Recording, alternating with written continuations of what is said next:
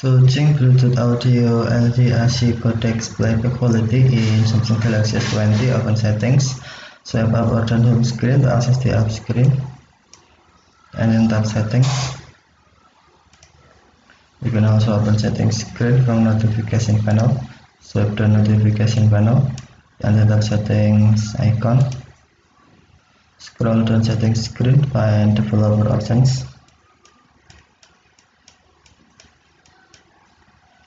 And then tap developer options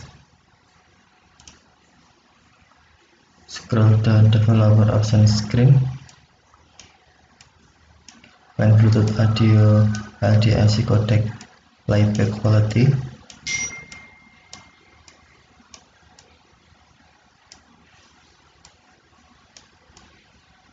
And then tap bluetooth audio LDAC codecs playback quality and then select option want optimize for audio quality balance audio and connection optimize uh, for connection quality or best effort adaptive bit rate.